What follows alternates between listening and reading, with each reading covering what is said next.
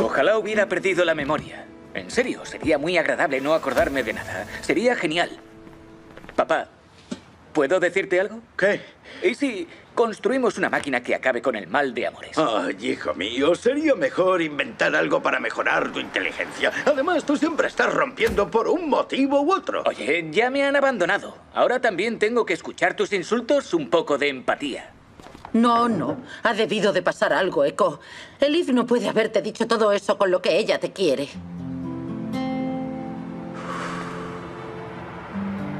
Pues lo hizo. Me dijo todo eso a la cara.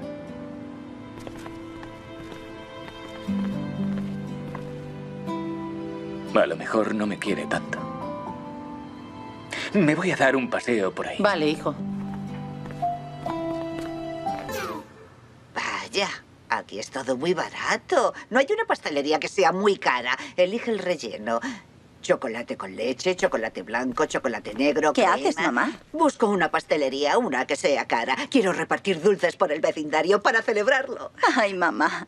Me he puesto tan contenta cuando he visto a Ezra en casa de Osam. Calla, yo también estoy muy contenta. Creo que es un momento ideal para tener la relación que siempre había soñado con la mujer de mi hijo. Mm, Eso se llama oportunismo. De eso nada. Eso se llama inteligencia. Se llama tener cabeza.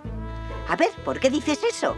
Yo también tengo sueños como suegra. Quiero caminar por la calle del brazo de mi nuera, irnos de compras, presumir de nuestra relación por el barrio. Quiero ir al restaurante de Menexe con ella, comer allí con ella las dos solas sin nadie más que nos moleste. En fin, son sueños de lo más realistas, ¿no? La chica ha perdido la memoria y tus sueños son increíblemente humanos. ¿Ha perdido la memoria? ¿Acaso tenía cabeza antes? No tenía.